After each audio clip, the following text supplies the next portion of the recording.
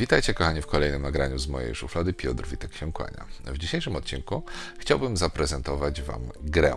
Grę na iOS-a, czyli na nasze iPhone. Zwykle tego nie robię, ponieważ nie lubię grać. Lubię gry, ale nie lubię tracić czasu na gry. Ale dzisiaj będę Wam demonstrował grę logiczną, a takie gry bardzo lubię, bo są to gry, które z reguły trwają dość niedługo, więc takie miejsca typu poczekalnie, typu podróż gdzieś koleją, autobusem, zawsze to jest chwila, żeby w sobie w taką grę zagrać. Gra, jaką chciałbym Wam dzisiaj zademonstrować, to e, gra Accessible Sudoku. Jest to po prostu, innymi słowy, dostępne Sudoku. Gra, która powstała w zeszłym roku i jest to po prostu dostępna wersja Sudoku, dostępna dla voiceovera, czyli dla osób niewidomych i słabowidzących, korzystających z czytnika ekranu VoiceOver. Jak to działa? Zaczniemy od włączenia gry Accessible Sudoku. Link oczywiście Sudoku. do 2, tej gry 1, 1, znajdziecie w e, opisie mm, tego nagrania, więc e, spokojnie będziecie sobie mogli grę pobrać. Gra kosztuje bodajże 5 zł, nie jest bezpłatna, ale warta tych 5 zł na pewno ona jest. E, może zacznę od tego, czym jest Sudoku. Pewnie większość z Was wie, ale dla tych, którzy nie wiedzą, jest to logiczna gra japońska, gra, która jest dość już stara. Polega w swojej standardowej e, formie na tym, że mamy planszę 9 na 9 pól, taka plansza kwadratowa i generalnie gra ma trzy zasady. Polega na tym, że wprowadzamy 9 cyfr od 1 do 9 e, i musimy e, zadbać właśnie, aby te trzy zasady były spełnione, czyli aby w danym wierszu znalazły się cyfry od 1 do 9. Oczywiście one nie muszą być poukładane po kolei. W kolumnach mają się znaleźć w każdej kolumnie cyfra od 1 do 9. I co ważne, również w bloku, tak zwanym bloku, który stanowi pola 3 na 3 mają znaleźć się wszystkie cyfry od 1 do 9. Zasady są bardzo proste, one w tym momencie brzmią może nieco skomplikowanie, ale właśnie dla osób początkujących gra Accessible Sudoku posiada na start planszę 4 na 4 po to, abyśmy mogli zapoznać się z tymi zasadami gry. Um, od razu podpowiedź dla użytkowników VoiceOver. Jeśli nie macie tego ustawionego, ustawcie sobie e, w ustawieniach VoiceOver pokrętło, zaznaczcie mm, nawigacja w pionie. Takie ustawienie na pokrętle. Tabela Braille'a, nawigacja w pionie. Nawigacja w pionie. Dzięki temu, poruszając się gestem przeciągnięcia palca lewo, prawo, Jeden, będziemy poruszać się w lewo, prawo, a góra, dół będziemy zmieniać wiersze, czyli lewo, prawo przechodzi między kolumnami, a przeciągnięcie góra-dół między wierszami naszej tabeli. Na ekranie w tym momencie domyślnie mam wyświetloną um, tabelę. Gdy Wy, gdy uruchomicie program po raz pierwszy, będziecie mieli um, ekran powitalny w języku angielskim, który będzie informował Was o zasadach gry. Na samym dole ekranu znajdziecie przycisk Back, który jak tapniecie, no to uruchomiona zostanie Wam pierwsza gra właśnie w takim widoku, jaki mamy teraz, czyli 4 pola na 4 i ja dotknę sobie w tym momencie jednego z tych pól. 1, 1, przycisk. Usłyszeliśmy 2, ad 1, 1, czyli cyfra 2 znajduje się na polu 1, 1, czyli jest to pierwsza kolumna, pierwszy wiersz. Przypominam, mamy cztery pola w pionie i w poziomie, czyli wpisujemy cztery cyfry. Jest to ta prostsza wersja standardowego sudoku. Więc zobaczmy. Mam cyfrę 2 na polu 1, 1, na, idę w prawo. 4, ad 2, 1, przycisk. Cyfra 4 na polu 2 z 4, tak? 4, ad 2, 1, przycisk. 2, 1, czyli drugie pole, e, druga kolumna, pierwszy wiersz. Będzie mi się to myliło, jak wam to opowiadam, ale z, idziemy na trzecią kolumnę. 3, Ad 3, 1, przycisk. Słyszymy cyfra 3, ad 3, trzecia kolumna. Pierwsza informacja to jest kolumna. i 1, czyli wiersz pierwszy. No i ostatnia kolumna 1, ad 4, 1, przycisk. 1 ad 4, 1, czyli cyfra 1 w czwartej kolumnie, pierwszym wierszu. Czyli mamy tą linię wypełnioną. Zwróćcie uwagę, mamy cztery cyfry podane. 3, Idę 1, teraz od tyłu. 4, Mamy 1, 1, 3, 3, 4, 4, ad 2, 2. ad 1, Czyli 1, wszystkie cyfry przycisk. od 1 do 4 mamy podane. To jest taka plansza treningowa, która zawiera kilka pól wypełnionych, a pozostałe pola są puste. Już Wam to demonstruję. Schodzę do drugiego wiersza. 1, ad 1, 2, przycisk. 1 ad 1, 2, czyli cyfra 1 na pierwszej kolumnie e, w drugim wierszu. Idę w prawo. Missing, ad 2, 2, przycisk. Missing, czyli brakująca informacja, bra, brakująca wartość na polu mm, y, drugim, w drugiej kolumnie, drugi wiersz. Idę dalej w prawo. 4, ad 3, 2, Cyfra przycisk. 4 na trzecim, em, trzecia kolumna, drugi wiersz. Idę znowu w prawo. Missing, ad 4, 2, przycisk. Znowu słyszę missing, czyli brakująca pozycja, nie ma tutaj nic. Jak robimy, żeby tutaj coś 4, wprowadzić? missing, 1, Ja patrzę ad 1, sobie tutaj 2, najpierw 4, missing, ad 2, Po 2, pole już przycisk. nie będę wam powtarzał, bo wy to słyszycie, co mówi voiceover, więc żeby nie powtarzać się, bo tylko się mylę przy tym, em, będziecie słyszeć, co mówi voiceover, a ja będę wam mówił, co robię, żeby wpisać poszczególne wartości. Jestem drugi wiersz, druga kolumna, brakujące pole. Stukam w to pole, jeśli chcę wprowadzić jakąś wartość. Missing, try 2, Usłyszeliście przycisk. taki odgłos i teraz słyszymy, jak e, VoiceOver Focus przeskoczył nam na e, cyfry. Mamy tutaj od 0 do 4 cyfry. Try 3, przycisk. VoiceOver to czyta jako try, czyli try i e, kolejna cyfra, czyli spróbuj czegoś tam. Try, try 1, przycisk. Możemy Try dać 0, try przycisk. 0, spróbuj 0, czyli jeśli popełnimy błąd, nie tą wartość wprowadzimy, możemy potem to edytować, stukając w tą wartość i zamiast cyfry od 1 do 4 wybierając 0, ale ja jeden, w tym try miejscu dwa, chcę przycisk. wprowadzić em, dwójkę powiedzmy, damy dwójkę. Try 2, missing, Ok, i 2, zobaczmy jak to 1, wygląda ad 1, teraz. 2, przycisk. GUS 2, ad 2, Mam- 1, GUS 2, ad 2, 2, przycisk. Guess 2, czyli zgadujemy, że to jest dwójka, tak? 1, Tak, 1, wydaje mi się, 2, że to będzie przycisk. takie tłumaczenie. 2, ad 1, Ale to jest 4, błąd, bo tu 2, widzę, że mam 1, 1, GUS 2, blok. ad 1, ad 1, 2, Tak jak przycisk. mówiłem, że w, na tarczy czy planszy 9 na 9 pól bloki stanowią pola 2, y, 3 na 3, tak w, na tablicy 4 na 4 e, tak zwane bloki są to pola o powierzchni 2 na 2 em, pola. I skoro ja tutaj zauważyłem, że GUS 1, 2, ad 1, 1, przycisk. mam dwójkę na pierwszym polu, 4, ad czwórkę 2, 1, na przycisk. drugim polu w pierwszym rzędzie 2, i 1, jedynkę ad 1, 2, przycisk. na drugim polu w pierwszej kolumnie, to oczywiście w tym bloku GUS 2, na ad 2, czwartym 2, miejscu przycisk. powinna znaleźć się czwórka, a nie dwójka, którą wpisałem, czyli GUS ja 2, w tym 0, momencie tą try 1, przycisk. dwójkę zmieniam 2, na przycisk. trójkę, od Try 1, razu try 2, Wam przycisk. Try 3, demonstrując jak się przycisk. Try 3, edytuje te 4, pozycje. 4, No i missing, sprawdzajmy. 1, 3, przycisk. 1, GUS 3, ad 2, 2, przycisk. Mam tutaj wprowadzoną trójkę 1, i w drugim 1, rzędzie teraz 2, mam przycisk. jedynkę, 3, trójkę, 4, ad czwórkę 3, missing, ad 4, i na 2, końcu brakuje mi jednej wartości, więc stukam w nią i już wiem, że ta brakująca wartość to 2, Try 2, przycisk. więc wybieram ją gestem lewo-prawo sobie z Try 2, przycisk. listy tych Try, try 2, przycisk. brakujących Try 2, i wstawiam dwójkę.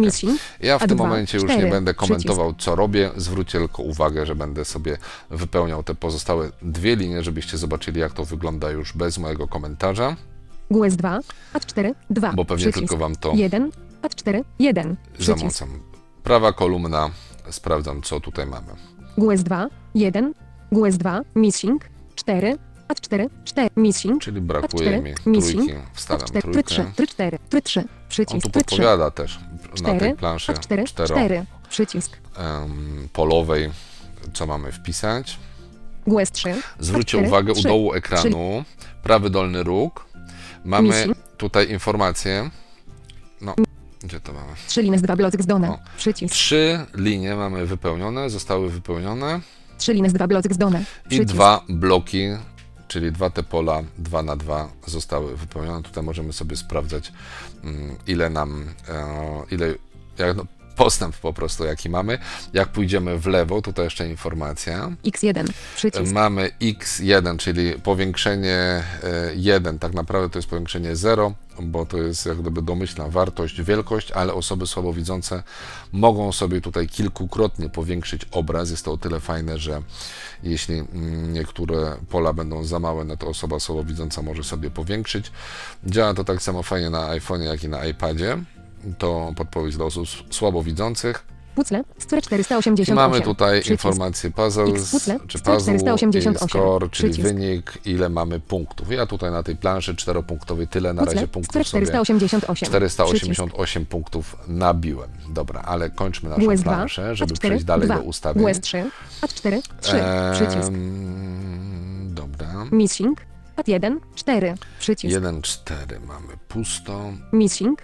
Ad missing. pusto, Ad 3, pusto. 4, Ad I tu 4, mam tylko 4, US 3, czwóreczkę. Ad 1, Ad 4, 3, Dobra, ale Ad tu 3, mamy 1, trzy. 4, Ad 3, 2, Cztery. 1, 4, 3, 4, 1, missing, Ad 3, wiadomo, missing, Ad 3, dwójeczkę. try 3, try 4, try 3, try 2, przycisk, try 2, Dobra. miss, GUS 3, Ad 4, 3, Dobra, przycisk, 1, zobaczmy Ad teraz. GUS 3, Tu mam Ad 4, trzy, 1, missing, Ad 2, missing, Ad 1, I tu w missing, missing, GUS 2, nic. 4, 4, GUS 3, 1, Ad 3, GUS 2, 1, missing, missing, missing, missing, missing, GUS musimy 3, pokombinować. Ad 2, dobrze. 4, Ad 2, To mamy 1, cztery, GUS 3, trzy, Ad 2, 1, Ad 1, tu 2, jeden 2, i dwa. Ad 1, Dobra, czyli Ad 1, 2, przycisk, GUS 3, Ad Czyli 2, jest- 2, przycisk, Missing, 2 lub Ad 2, 1, 1, a że Ad tu 3, mamy jedynkę missing, Ad 2, no missing, Ad 2, w try tym 2, miejscu przycisk, try 2, dwójeczkę. przycisk, try 2, try, missing, upewnijmy się, bo tu lubi fokus Missing, uciec, to Ad 1, od razu, 4, dlatego przycisk. warto pamiętać współrzędne tych, które mm, ustawiamy Missing, aktualnie. Ad 2, 4, E, przycisk, Dwa, cztery, dobra. 4 lines 3 blok, GUS 2, 1, Przepraszam, missing, Ad 1, fokus. missing, Ad 2, 4, Dwa, cztery, GUS to 2, było Ad 2, dwa, GUS 3, trzy, 4, cztery GUS, to GUS 2, Ad 2, 3, missing, Ad 2, czwartym miejscu missing, Ad 2, try 2, try jedyneczkę. 1, przycisk, try 1, No i wiadomo, że pozostałe GUS 2, dwa pola missing, to będzie Ad 1, trójka 4, i czwórka, przycisk, ale też GUS 1, musimy to Ad 2, GUS 2, sprawdzić, Ad 3, gdzie 4, była Ad 4, już 4, czwórka. Tu GUS 2, była, GUS 1, czyli missing, początek 1, dajemy missing. Ad 1, try 2, try 3, try 4, try 3, przycisk, try 3, Trzy. GUS 3, Ad 1, I 4, brakuje nam missing, GUS 2, dwa, GUS 1, trz- GUS 3, Ad missing, czwóreczki, tak? 1, Jeszcze się 2, upewniamy, 1, tak. missing, Ad 1, missing, I teraz jak 1, wbiję try 2, czwórkę, try 3, try 4, to try 4, usłyszycie sygnał zakończenia układanki. Uwaga, well done. Well done, dobra robota. You completed THE Puzzle and earned 32 points. Ukończyłeś składanie puzli, klocków i mm, dostałeś 32 OK, punkty. przycisk. To jest ta podstawowa Ad 1, mm, plansza 4 na 4 dla testów, bo podstawową planszą dla Sudoku, tak jak wspomniałem, jest plansza 9 na 9 i jak tą planszę wywołujemy. Zwróćcie uwagę, teraz znowu skaczę na dół okna. 0 lines 0 blocyk z done. Bo tutaj od, pojawiła nam się już kolejna plansza, którą możemy sobie uzupełniać. Plansza 4 na 4 ją, ją możemy uzupełniać, ale my 0 skaczemy lines jak 0 gdyby na dół okna. Ja mówię skaczemy na dół okna, mm, bo z voiceoverem tak jest po prostu najwygodniej. Przeciągam czterema palcami w dół i teraz gestem jednego palca idę w lewo. X1, przycisk. Tu mam ten e, przycisk do powiększania i Puzzle, store 520. tutaj ten przycisk. puzzle do aktywowania. Ja to aktywuję i otwieram menu, dodatkowe meni samej gry. I co my tutaj mamy? Back to game. Przycisk. Back to game, czyli wróć do aplikacji. Restart current. Przycisk. E, zrestartuj bieżącą, restart current, czyli jeśli coś tam nam nie idzie, mamy jakąś większą planszę, to możemy sobie tutaj mm, wyzerować ją, jak nie wiemy, gdzie popełniliśmy błąd i rozpocząć ją, układanie tej planszy od nowa. Start new game. Przycisk. Możemy rozpocząć nową grę, do tego za chwilkę wrócę. How to play. Przycisk. E, How to play, jak w to klikniemy, to będziemy mieli ten komunikat, o którym wspominałem z początku gry. Przy pierwszym Przycisk. uruchomieniu. Clear score, czyli wyczyść wyniki. Przycisk. Skontaktuj się z nami, czyli z twórcą. I tutaj Sport o e, 2021. dodatkowych e, aplikacjach stworzonych przez pana Johna. 2021. E, I tutaj informacje o samym autorze. Ale my w tym momencie wracamy sobie jeszcze do pozycji Start New Game. Dlaczego ona jest 9 taka do 9. interesująca? Bo tutaj możemy sobie wybierać różne rodzaje plansz. Bo 4 do plansza 4 4 selected. na 4 Przycisk. zwróćcie uwagę, select mam przy tej pozycji, czyli zaznaczone. Select puzzle size. Przycisk. Mamy tutaj informację, aha, wybór jeszcze wielkości puzli, to już dla osób widzących, to na razie 4 by nas nie 4 interesuje. selected. Tu mamy 4 na 4 9 by 9. Kolejna Przycisk. pozycja to jest 9 na 9, czyli ta standardowa, ale patrzcie dalej. 16 by 16. Może być Przycisk. 16 na 16 25 by 25. i 25 Przycisk. na 25. I tak jak te cztery, tutaj przy Was tak chwilkę się jeszcze zamotałem, ale normalnie ułożenie takiej tarczy czy planszy to jest no, chwila, moment. Już przy 9 polach już to nie jest takie łatwe. Przy 16 i 20 to już wolę nawet nie mówić, bo to jest dobra chwila, żeby sobie wszystko poukładać, więc gra wciąga, wciąga dokładnie tak samo jak Saper, a przypominam, że też jest fajna wersja Sapera na iOS-a, też w pełni dostępna dla VoiceOvera, mm, też polecam, bo dotychczas to była taka moja logiczna gra, e, po którą sięgałem, gdy, gdy właśnie chciałem jakoś zabić czas. Teraz będę miał Sudoku. Mm, I co dalej jeszcze możemy tutaj zrobić? Number of blanks 8. Przycisk. Em, ilość pustych Number of blanks 8. pól, Przycisk. czyli y, w tym momencie, gdy uruchamiamy tą planszę 4 na 4 oczywiście ta ilość pustych pól pojawia się przy każdej starcz i e, ilość pustych pól oznacza poziom skomplikowania. Im mniej tych pustych pól, tym łatwiej nam wypełniać daną planszę, więc im bardziej zwiększymy tą ilość pustych pól, tym trudniej będzie nam to zrobić. Więc nawet to pole 4 na 4 Decrement. Przycisk. jeśli tutaj skorzystamy z jednego z tych dwóch przycisków, um, decrement Increment. i increment, Przycisk. czyli increment będziemy zwiększać ilość tych Increment. pustych Increment. pól. Ja tutaj Decrement. stuknąłem 10 dwa blank razy i słyszymy 10 blank e, seals, czyli 10 em, pustych pól. Decrement. Jak dwa Przycisk. razy stuknę w ten decrement, 9 to blank mamy cells. o, raz Decrement. to jeszcze raz, Przycisk. Decre 8 blank cells. 8 pustych pól. Decrement. Increment. Przy- Em, I tyle. Jak ja teraz 8 tutaj blank, sobie 25 by stuknę 20, 16 by w 16, 9 by 9. 9 Przy- 9 na by 9 9. select. 16, 20, Zwróćcie 6, uwagę, 9 by mam 9 select. select 6, 20, nul, decrement. Increment. i jak teraz Start. stuknę start, Start. to na ekranie pojawia się 1, już 2. Przycisk. mm, Mistrz 5. Pad 1, zróbmy 2. 5 Przycisk. ad 1, 2, 8. to dajmy Pad 1, 1. 1, Przycisk. 1, cyfra 8 na e, polu 1, 1 i teraz pójdę w prawo, żeby wam pokazać ile tutaj mamy Missing. pól. Ad 2, 1, 9, ad 3, 1, 2, ad 4, 1, 1, ad 5, 1, 5, ad 6, 1, missing, ad 7, 1, missing, ad 8, 1, 3, ad 9, 1, Czyli mamy 9 pól. Powiem Wam, e, aplikacja jak dla mnie w tym momencie ma jedną wadę, tak, że interfejs ma w języku angielskim. Mm, Jest naprawdę bardzo fajnie dostępna.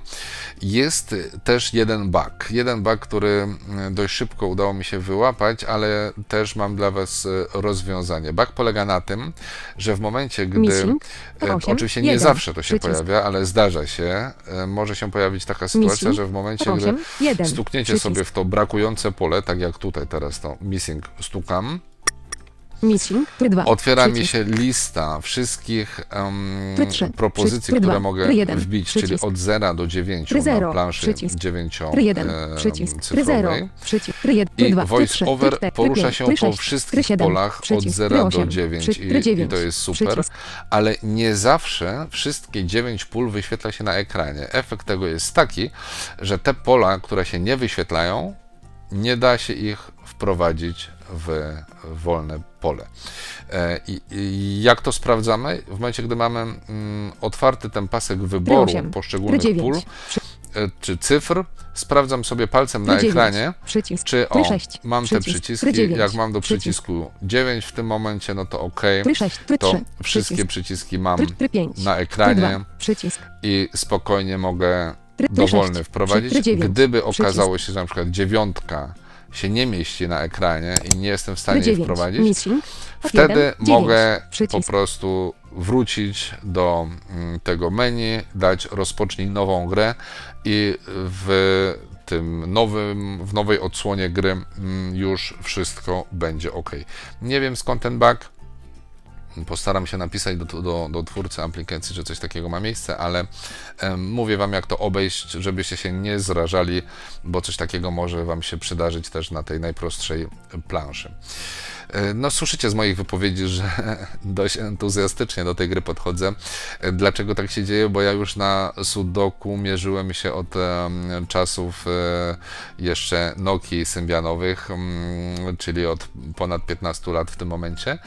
I niestety było kilka prób stworzenia takiej dostępnej wersji Sudoku, ale wszystkie one spełzły na niczym.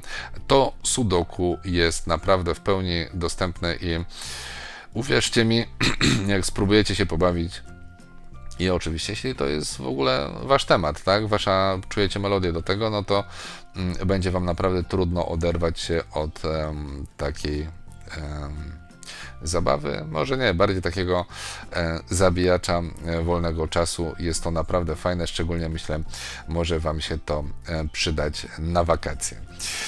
I to tyle w dzisiejszym odcinku. Bardzo Wam dziękuję za uwagę. Mam nadzieję, że w tym wakacyjnym czasie taka aplikacja Wam się przyda. Em, Dajcie znać w komentarzach, co o niej sądzicie, czy używacie, korzystacie, czy Wam się podoba. E, Ja ze swojej strony bardzo Wam raz jeszcze dziękuję za uwagę. Zapraszam Was na kolejne vlogi z mojej szuflady, a na dzisiaj kłaniam się nisko. Piotr Witek.